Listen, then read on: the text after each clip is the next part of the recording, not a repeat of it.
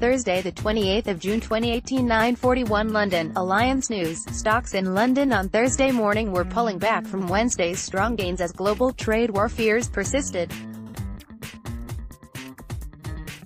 Greene King was the worst performer in the FTSE 250 as it posted a fall in annual revenue, as fellow mid-cap constituents BCA Marketplace and Stagecoach also traded lower, following their respective full-year results. The FTSE 100 index was down 0.3%, or 20.23 points, at 7,601.46 early Thursday, having closed 1.1% higher on Wednesday. The mid-cap FTSE 250 index was down 0.3%, or 65.72 points, at 20,778.42. The All Share Index was flat at 1,081.04, the CBOE UK 100 was down 0.1% at 12,891.86, the CBOE UK 250 was down 0.2% at 19,002.90, and the CBOE UK Small Companies was flat at 12,708.28. Oil prices are still creeping higher after the U.S. inventories posted a much bigger than expected drawdown of nearly 10 million barrels, giving some welcome resilience to FTSE energy shares. Yet neither high oil, nor a weaker GBP US dollar firming against peers, in spite of dovish comments from the Fed's Bullard, are proving sufficient, for now, to offset global trade worries, said Michael Van Dulken, head of research at Accendo Markets. Brent was quoted at 77 United States dollars and 42 cents a barrel early Thursday, remaining around its best level so far in June, fueled recently after the U.S. warned its allies earlier in the week they must end all Iranian oil imports by November 4. Despite this, shares in Royal Dutch Shell were flat while BP was down 0.6% early Thursday as risk-off trade dominated. Additionally, BP on Thursday said it has agreed to buy Chargemaster, the UK's largest electric vehicle charging company. Chargemaster, to be rebranded as BP Chargemaster after the deal completes, operates the UK's largest public network of EV charging points, with over 6,500 across the country. It also designs, builds, sells and maintains EV charging units. In the FTSE 250, brewer and pub operator Greene King was 6.8% lower after it said revenue for the year to April 29 fell 1.8% to 2.17 billion British pounds, though pre-tax profit rose 6.8% to 197.5 million British pounds from 184.9 million British pounds. Before exceptional items, profit fell to 243 million British pounds from 273.5 million British pounds. The FTSE 250 constituent held its dividend at 33.2p for the year. Total pub company like-for-like sales in the year were down 1.7%, with underlying like-for-like sales, adjusting for snowy weather in the year, down 1.2%. Slower food sales were the main driver of the negative like-for-like sales, Greene King said.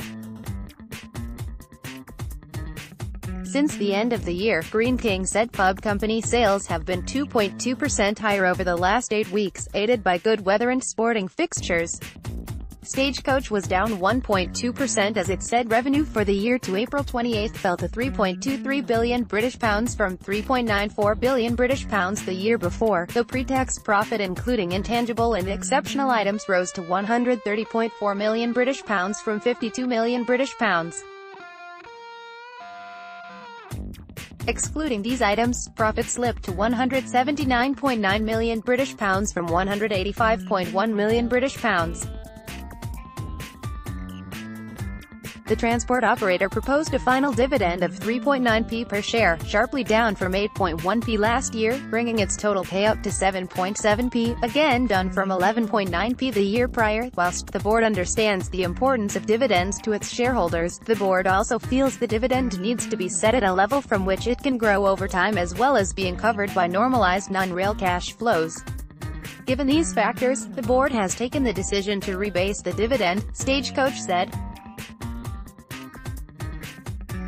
Having opened higher. Shares in BCA Marketplace were down 1.6% in early morning trade despite revenue for the year to April 1 growing to 2.43 billion British pounds from 2.03 billion British pounds, as pre-tax profit climbed to 75.9 million British pounds from 56.4 million British pounds. The vehicle marketplace raised its full-year dividend by 27% to 8.55p from 6.75p. The new financial year has started well, with performance since the year-end in line with our expectations. Across all of our markets there remains significant addressable volume to capture, said Executive Chairman Avril Palmer-Baunac. Lost 0.7% after the Financial Reporting Council said it has started an investigation into Deloitte's auditing of the building product distributor's financial statements for 2015 and 2016. The probe will focus on the audit of cash and supplier rebates. In continental Europe on Thursday, the CAC 40 in Paris was 0.1% lower, while the DAX 30 in Frankfurt was down 0.1%. A two-day meeting of European Union leaders kicks off on Thursday in Brussels, with focus on migration amid recent tensions in the bloc. Italy, where a new government took office recently, closed its ports earlier in June to a boat carrying more than 600 migrants rescued in the Mediterranean Sea, in a message to other European states that Italy needs more help. Other topics at the summit include relations with Russia, security and defense, digital innovation, jobs, growth and competitiveness, and Brexit. Irish Taoiseach Leo Varadkar has warned time is running out for Britain to seal a withdrawal agreement with the EU by October, as he travels to Brussels for the summit. In early European data on Thursday, GfK showed Germany's consumer confidence is set to remain stable in July. The forward-looking consumer sentiment index held steady at 10.7 points in July. This was slightly above the expected level of 10.6. LSEWHERE in the economic calendar on Thursday, Eurozone economic sentiment at 1000 BST. German CPI is at 1300 BST, while in the US, initial jobless claims are at 1330 BST with GDP and personal consumption expenditures due at the same time.